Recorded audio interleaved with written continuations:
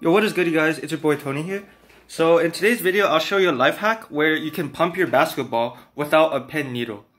Uh, so today, I just realized that I haven't played basketball in a long time, so I needed to pump it, but I lost my pin needle, so I'm like, crap.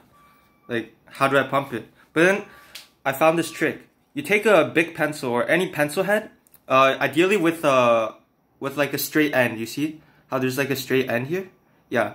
So you want to take that off, and then you want to uh, plug it into your you want to plug it into your uh, pump. So I'll show you. I'll cut to it right now.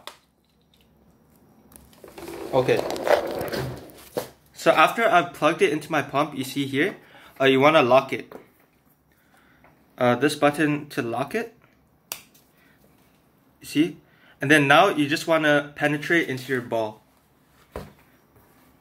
Alright, so hold up. Alright, so here's the hole and alright, let me just do it. And then there you go.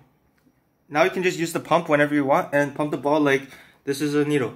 Thank you for watching and have a great day.